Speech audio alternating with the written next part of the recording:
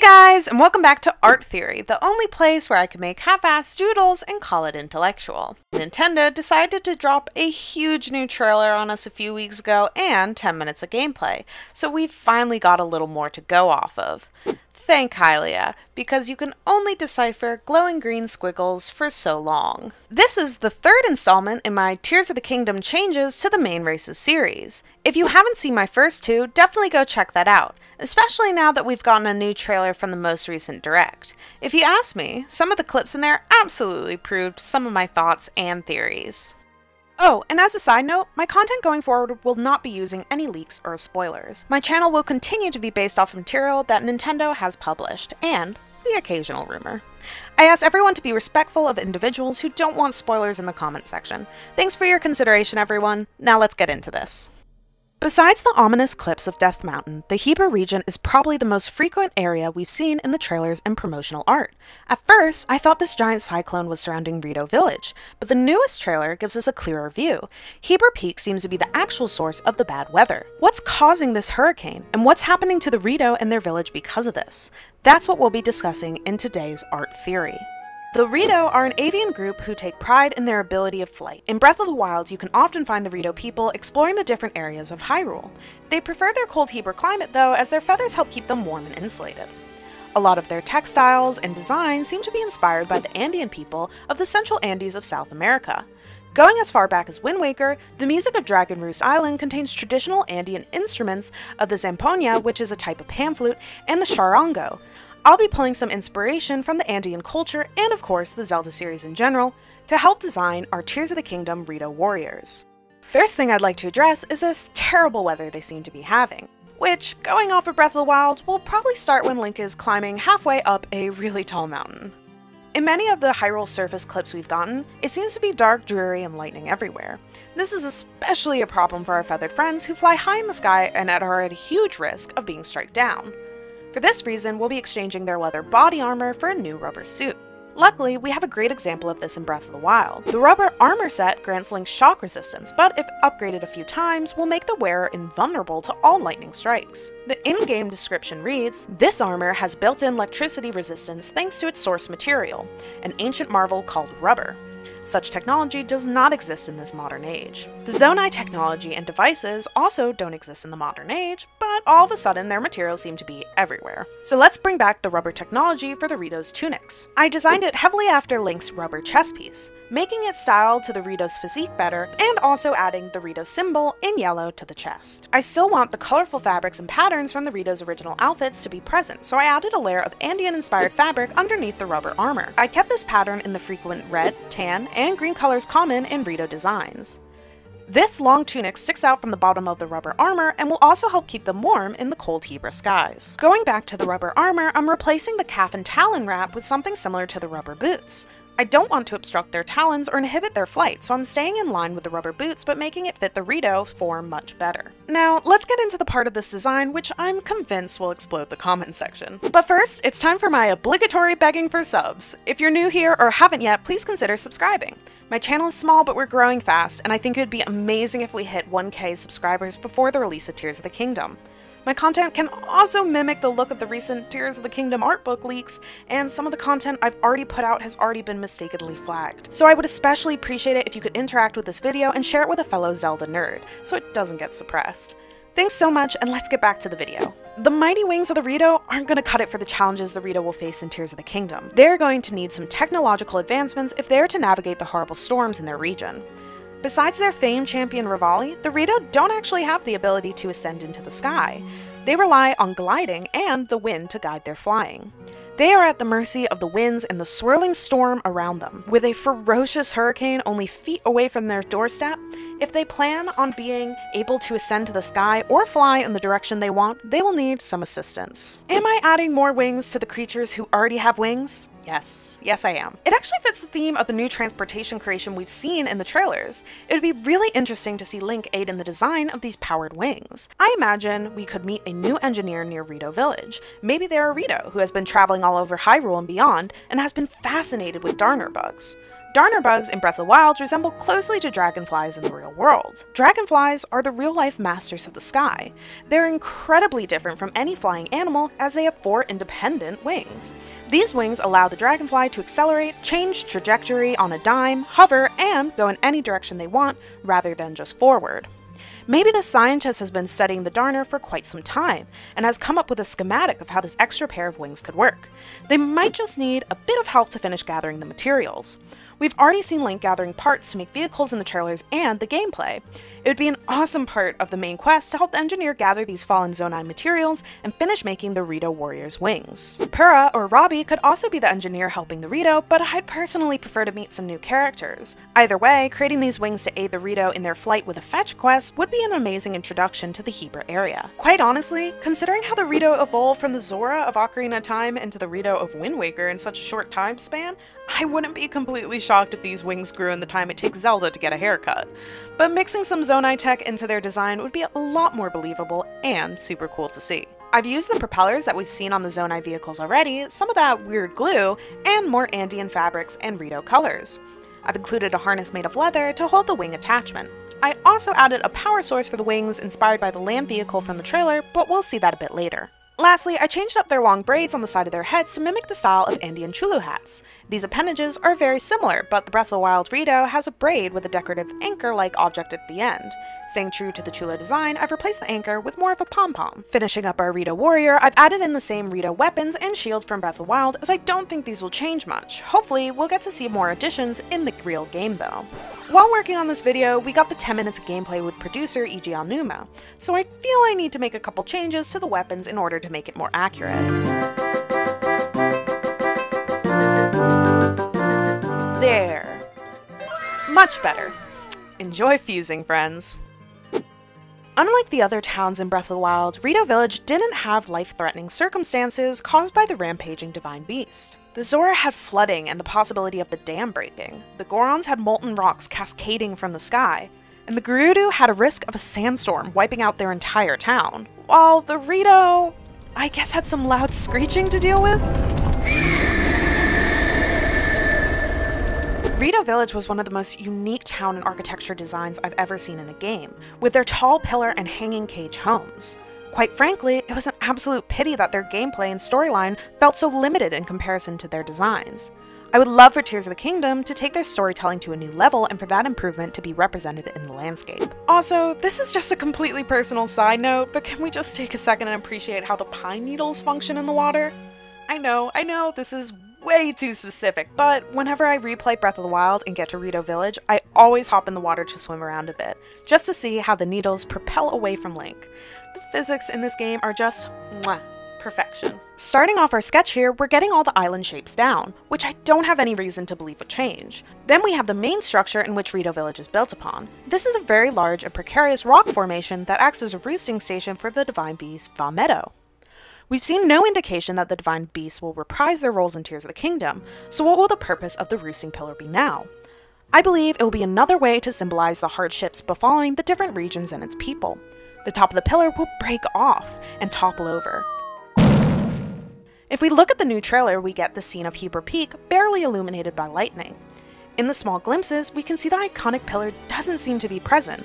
I tried to line up this shot with my save file and got the camera angle as close as I could. As you can see, the Rito Pillar still protrudes past the mountain range in the horizon in Breath of the Wild. But the most recent trailer tells a different story. The Pillar of Rito Village is a point of pride for the Rito, and it seems fitting to disrupt it. I also noticed from some angles the pillar created a little heart shape, which is why I chose to break the rock formation there, further driving home this theme of heartbreak and destruction. Now, what could have toppled such a strong rock formation? There's a couple things I think could do this. A giant lightning strike could have caused it, some strong flying enemies, powerful winds from the hurricane on Hebra Peak, or possibly Vah Medoh took a souvenir for the road. The huge storm on the peak will not be confined to the mountain range. I see the hurricane functioning very similarly to the Thunderhead from Skyward Sword, an enclosed dome of wind that you can enter at a very specific spot. But from the outside, tornadoes would be shooting out of the cyclone, scarring the landscape as it goes. When you fly towards the Thunderhead in Skyward Sword, tornadoes shoot out from the dome to inhibit the player. This is one of the few things from Skyward Sword I'd like to see brought back. No, not you. No, no, no. you go back to your hole. Okay. Okay, good. Between the lightning and the tornadoes, we can change up the landscape even more. I've also destroyed a lot of the trees surrounding the town. Some will be knocked overs, others completely derooted. The crater of the water underneath the village will contain a lot more debris and trees, maybe even the destroyed top of the pillar, all caused by the turbulent weather nearby. Moving on to the architecture, the Rito live in fairly minimalistic wooden cages that hang from the town pillar. These homes are very susceptible to bad weather. Because of this, these cages will be boarded up. I also believe that the new flying beasts will be a frequent enemy of the Rito in Tears of the Kingdom. So having extra precautions to stop these enemies from invading is probably wise. We're adding in strong solid sheets to the once open windows, painted in, you guessed it, Andean patterns and Rito colors. I added in a few more crooked boards as I imagine they will be hastily adding more strength to these windows whenever the hurricane damages their homes. There's not too much more we can add without completely changing the Rito's architecture, but the single chain keeping their homes hanging isn't going to cut it anymore. A small addition would be a second hook to the base of the building to help keep their homes from shaking too much in the harsh winds. They could even add a few more chains off the side to help suspend the structures. To truly give Rito Village a new experience, it has to feel bleak. The Rito aren't carelessly flying around in the sun and singing tunes. They are boarded into their homes. Their town pillar no longer towers above the rest, but instead can be found in pieces at the bottom of the lake. Stormy atmosphere will cast a gray cloud over the Hebra region, only to be cleared if the source of the cyclone is defeated. Now let's move on to the main origin of all this chaos, Hebra Peak's boss. From what we've seen so far, we're getting a lot of new enemies, but we're also getting old enemies brought back. Last month's trailer showed us a glimpse of Gleeok, a three-headed dragon that has appeared in three other Zelda games. We have seen petty Zelda enemies reprising their roles like the Redead, but it was refreshing to see Gleeok, who's often a boss or mini-boss fight. I'd like to keep this theme going and bring back another boss from the Zelda series. This boss will be deep inside the Cyclone on Hebra Peak, so it's only fitting that they suit their surroundings. I narrowed down the extensive list of Zelda bosses over the years to be wind or lightning related. A lot of Zelda bosses could make sense here, but one that I think would be most unique and practical is Cyclok from Phantom Hourglass. Cyclok is a gigantic flying Octorok who controls the winds. Cyclok could have easily created the gigantic cyclone above Hebra Peak, which could also make sense as to why it doesn't seem to be naturally occurring and doesn't seem to be present for the whole game. Cyclok also fights by sending out smaller vortexes to attack the player, which would fit well with our theory of tornadoes terrorizing Rito Village. I designed this iteration of Cyclok after the original boss and the snowy biome Octorok from Breath of the Wild. As Octorok's attempt to blend in, this pale colder tone cameo makes the most sense for the top of Hebra Peak. Instead of a sprout on its skull, I opted for the original Cyclok's shell, the original boss honestly looks a bit silly and comical, as do a lot of enemies from the chibi cartoon style Zelda games. Really want this Cyclok to look more intimidating. They'll have a furrowed brow and even longer limbs than the Octorok from Breath of the Wild.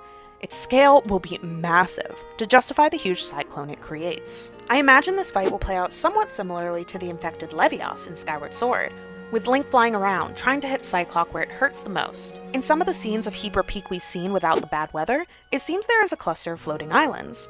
Link will have the option of aerial fighting with a bow, which we know will be extensive in this game considering the patents Nintendo has filed. Or you could land on one of the many islands engulfed by the wind and shoot or slice from there. Player will have to avoid mini tornadoes and huge tentacles hurling at you. In Phantom Hourglass, where we first meet Cyclok, you defeat it by using their own winds against them, by placing bombs that float up, knocking the beast down. It would be such an epic fight to have a similar mechanic.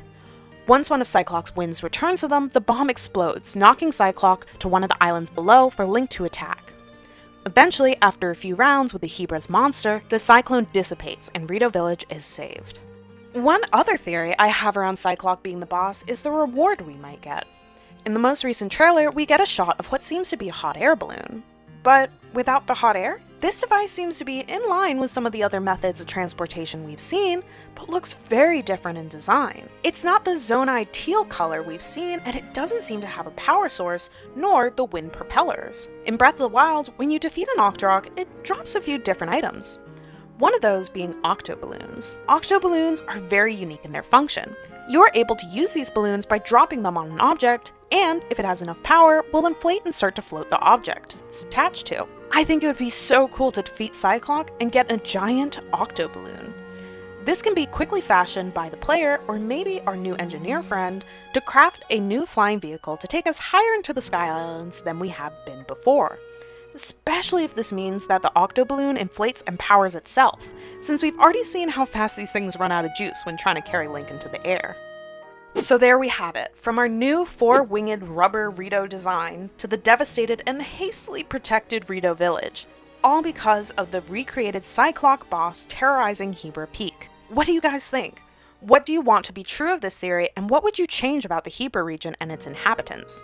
Let me know in the comments down below. I'm about to start on the final illustration, but please consider subscribing and sharing this with a friend. It really helps a small channel out. Alright, let's finish this bird brain theory. Unfortunately, I lost a lot of my sketching process during this, but I didn't want to have to redo it and make you guys wait even longer for another video. I also have been terribly sick for over a month, so that's part of the wait time. I'm planning on finishing up this four-part series before the release of Tears of the Kingdom, so stick with me, people. Anyway, working on this illustration, I wanted to capture the dark and stormy themes we've seen surrounding Hebra Peak. The destroyed Rito village is in the foreground, with Hebra Peak encompassed by winds in the distance. This was a great opportunity to show the scale of Cyclok. I drew its tentacles breaching the sides of the cyclone, reaching out menacingly. I utilized the lightning to give it a slight silhouette inside the cyclone. For our Rito warrior, I'm drawing him from the back, which gives us an alternate view of our original design. Most will be the same, but now we can see the power source for the new set of wings. I stole this glowing battery from the shot of the train vehicle from the trailer. I can't be sure that this is the power source, but it certainly seemed like it. I worked in a similar design and included it on the harness. I envision a Rito warrior, or even maybe Teba, helping us with the new wings to ascend into the sky. Getting high and close enough to enter through the top of the cyclone, dropping down into the eye of the storm, where we will face off against Hebra's unwelcome tenant. I added in some of those tornadoes similar to the Skyward Sword ones, and some of the new flying enemies we've seen in the sky, and of course lots of lightning. There we have it, our final illustration. I really can't wait to re-explore the Hebra region in Tears of the Kingdom, and I hope listening to me ramble on about my theories and designs have gotten you excited too. Definitely let me know what you think about my theory in the comments down below. Thanks for watching everyone, and I'll see you next time.